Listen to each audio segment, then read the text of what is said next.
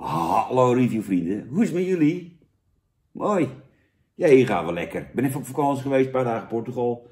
Met mijn kinderen. Ja, de reviewtjes bleven gewoon doorgaan. Die had ik namelijk vooraf opgenomen. Handig, hè? maar eh, ja, even een dag of zes naar Portugal was lekker. Een lekker weertje, op strandje, zeetje gezwommen, voetballetje geweest. Helemaal goed. Ben je uitgerust, Jan? Nee, kapot. Ik ben kapot. Wat ben ik moe zeg. Ongelooflijk. Hier, wallen tot mijn ballen. Maar goed, eh, daar kan ik heel lang over zeuren. Maar ik heb besloten om het niet te doen. Want er zijn ook mensen die eh, niet op vakantie zijn geweest. Of het eh, op een andere manier moeilijk hebben. Hè? Dus, eh, wat zit er onder het doosje? Wat heeft ons Ahmedje opgestuurd? Laten we gaan kijken. Ja, ja toch? Nou, hartstikke leuk. Ah, kijk eens. Eh broodsalades, ja, eh, hartstikke, eh, pff, ik veel, maar broodsalade mij naar bommen. Het is veel erger dan gedacht. Het is vegan.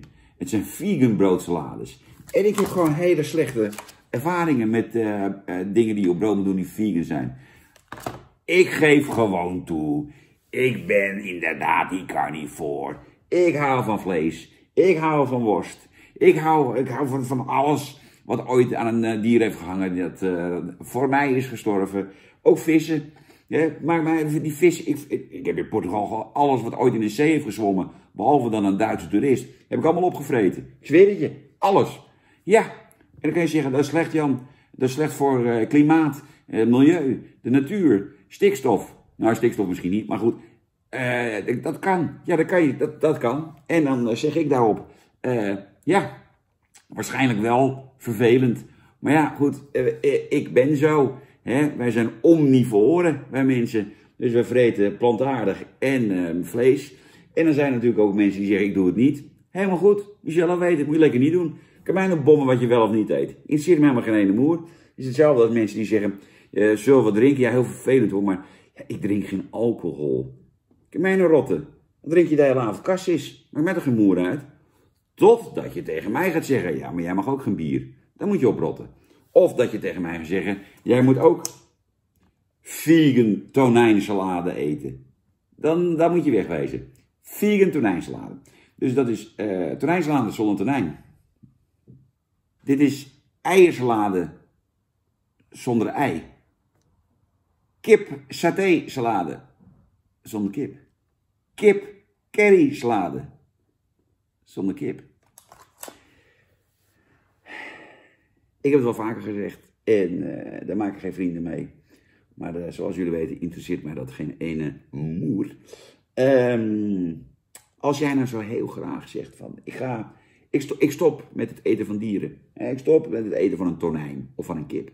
Als je dat zegt, wat mag? Want nogmaals, I don't give a damn wat je wel of niet eet. Interesseert me helemaal geen hol. Dat is hetzelfde met mensen die uit religieuze overwegingen dingen niet eten. Nou, dan toch niet? Kan mij nou bommen. Als jij denkt dat er iemand op een wolk zit die zegt dat jij geen eh, rund mag eten, of varken mag eten, of garnaal mag eten. Eet je dat toch niet? Kan mij, nou- kan mij niks schelen. Alleen je gaat mij niks verbieden. Hè? Want ik geloof namelijk niet op eh, iemand in een wolk. Nee, daar geloof ik niet in. Maar daar had ik er even niet over. Waar het wel over gaat, is hoe komt het toch dat die, dat, die, die vegan mensen, die zijn nog erger dan vegetariërs, want die vinden namelijk ook honing, dat is misbruik maken van bijen. Ja, ja, misbruik maken van de bijtjes. Met honing, en dat doe ik niet. Nee, dat vind ik vervelend. Eh. Is dat? Goed. Wat ik dus vind van die mensen, eh, ik vind het prima mensen. Ik denk, ik ken ze niet. Ik ken ze niet. Dus ook, eh, denk ik, ik denk dat die mensen ook niet met mij willen omgaan. Ik denk ook niet dat ik met die mensen omga. Maar nogmaals, dan eet je geen honing. Alleen dan denk ik, als je nou eh, zo moeite hebt met het eten van vis, waarom ga je dan een salade eten op basis van vissmaak? Doe dat dan op basis van spersiebonen, toch? Of dat je gaat roepen, ja hallo, ik ben eh, veganistisch. Ja, nee, nee, ik eet geen eh, dode dieren, maar ik wil er ook geen misbruik van maken. Maar ik zou wel graag eh, kipsaté salade op mijn brood willen. Nee, eet een salade op je brood. Ja, Waarom, waarom, waarom wil je dat dit dan wel? Als dit dan het allerergste wat het is, kipsaté of, of, of, of eiersalade, dat is ook heel erg hè. Misbruik maken van de kippen. Ja, die moeten zo'n uit de kont persen. Verschrikkelijk zielig voor die dieren. Ga ik niet doen. Nee, ik ga eiersalade op basis van tofu zitten vreten. Je kan dan toch ook gewoon geen eiersalade eten? Ja, ja. Wat ben ik nou? Uh, misschien ben ik, uh, het zal me wel.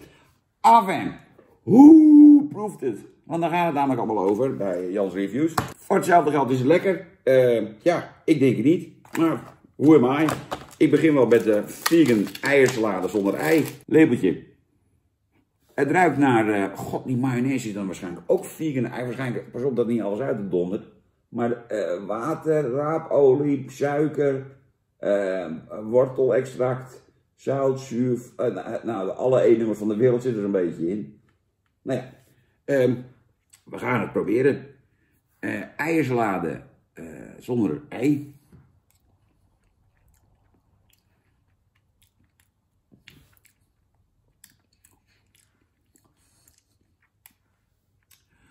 Het komt zeker in de buurt van eiersalade.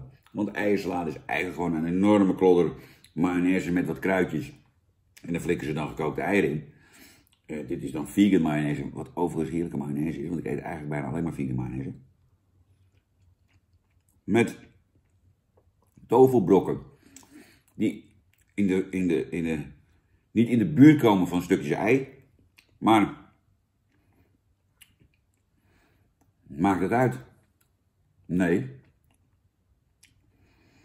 Ik vind de ei lekkerder. Die toverblokjes hebben een beetje een bittere bijsmaak. En dit hebben, hebben eieren niet. Maar is het heel erg smerig? Nee. Het is een beetje een ijslader waarvan je denkt... Wat heeft die kip uitgespookt de laatste tijd? Niet heel vies hoor. Dan gaan we naar de kip curry. Ik ben een uh, groot liefhebber van de kip curry.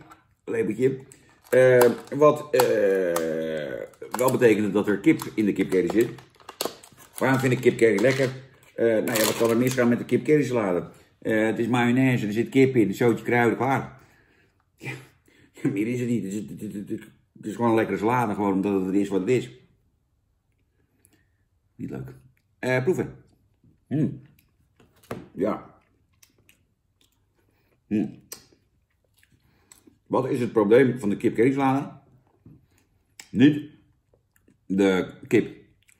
Want eigenlijk proef je de kip in de kip currysalade van de Albert ook al niet. Dus zeggen, ja, je, je, weet dat erin zit, je zit op iets te kauwen. Maar kip is zo makkelijk na te maken. Mm. Er zitten grote stukken ananas in een kip, nepkip die erin zit, is gewoon net echte kip. Wat zeg ik, als je het gewoon goed kruidt, niemand die het merkt. Deze vegan kipkeesalade kan gewoon door voor echte kipkeesalade. Je proeft het verschil niet. Het is, het is ook wel lekker, tenminste. Deze was niet echt lekker, maar niet echt heel vervelend. Het is gewoon prima, ja. Nou, dan is de kip saté al helemaal goed. Want als je een kledder satésaus op iets gooit, is het lekker. Ik denk zelfs als je dat op je schoonmoeder gooit, dat het, uh, dat het nog smakelijk wordt. um, mijn excuses, uh, schoonmoeder. Dat, was een grapje. Nou, dan gaan we. Hele bak met, uh, ja, ik denk dat het kool is of schalderij. En dan, ja, ja, kip saté. Satésaus. met dezelfde brokjes. Nu heeft het wel heel veel spa Veganistische stukjes op basis van tarwe, soja en currypoeder. Dat zit hier al in. Dat is dan die kip hier. Nou, dat zal hetzelfde hier zijn. Kijk, het stikje werken van de, van de groente. Maar dan maken we fris. En die brokjes die erin zitten. Van de uh, kip. Wat een kip is. Is net kip. Ik zeg je even dat ik vind deze nog lekkerder de vegan kip curry dan ik de, de, hè? De kipsaté vind ik lekkerder nog dan, dan de kip curry. Die vond ik ook wel lekkerder. Dan, dan wat? Dan je dan die. Kom er niet lekker uit, maar ik was op vakantie. Ik ben nog een beetje moe. Gaat wel lekker, lekkerst. Uh, tonijn slaan zonder tonijn. Daar geloof ik niet in. Dat kan niet. Nee, dat kan niet. Nee, dat gaat niet. Want wat ga je dan gebruiken om uh, vis na te doen? Even kijken, het uh, veganistische tonijn op basis van tarwe en soja-elementen.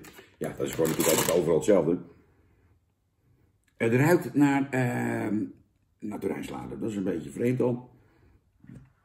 Kunnen ze een spuitje natuurlijk in doen. Kijk, het is dezelfde structuur als tonijnsalade. En het smaakt naar... Het komt in de buurt... Het komt in de buurt van tonijn. Ik geef dit toe. De structuur de smaak. Als je dit op een toast doet, denken mensen tonijnsalade. is lekker, nee, ik vind het niet heel lekker. Ik vind het echt tonijn lekker. Maar het is niet vies. Kom gewoon in de buurt van tonijnsalade. Krijg je het voor elkaar. Het leven zit vol verrassingen.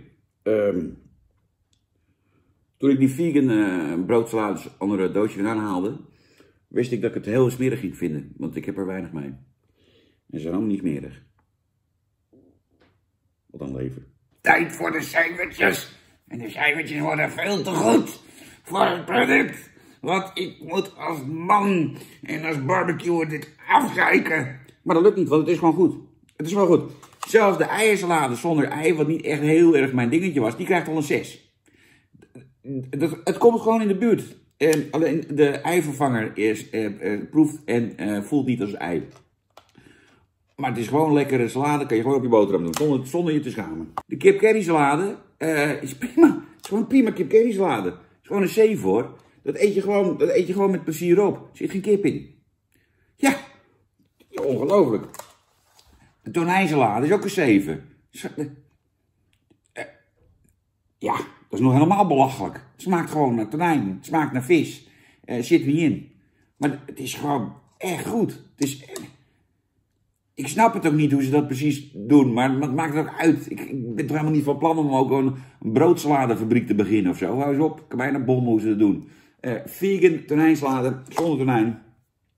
Ook gewoon lekker. En de kip saté eh, salade zonder kip. Ja, jezus, ik vond die gewoon heerlijk. En die zit ook bunkervol met groenten. Dat is hartstikke fris. Uh, saus, helemaal goed. En de kip zonder kip smaakt naar kip. Ja, gewoon hard. Ik ben een beetje van mijn geloof aan het vallen. Vervelend. Nee, bedankt voor het kijken en tot snel. Dag!